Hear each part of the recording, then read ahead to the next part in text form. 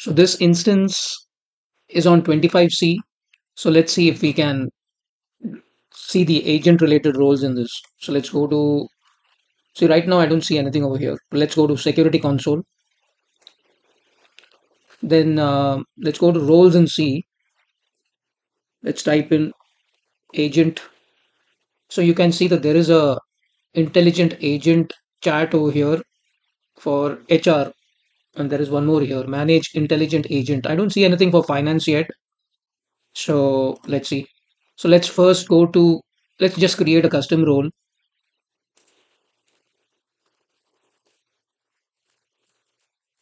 I'm just calling it XXG agent. I'll create a job role. Go to next. Okay let me add a role here and let's do the same thing. Agent see now it's not showing up over here. Let's go back.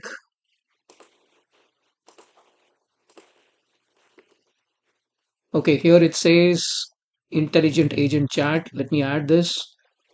And then agent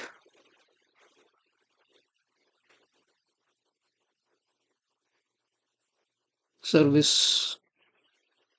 I think that was the only one right? This one probably HR help desk this is all for the services module. I don't see anything for finance in this so let's just add this and see what happens. Add save next next. Again here it was not there but let's try. Okay. Cancel this. Next next. Let's add the user. Apps user. Okay next save and close. Changes were saved. Let's just double check the user.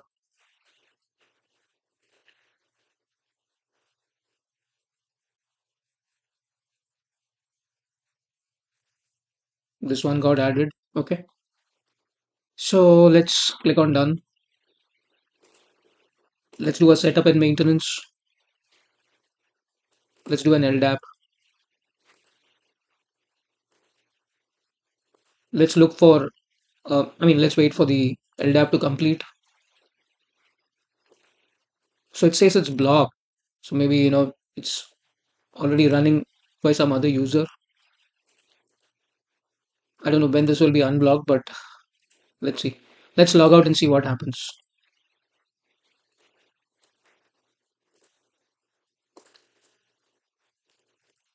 Okay.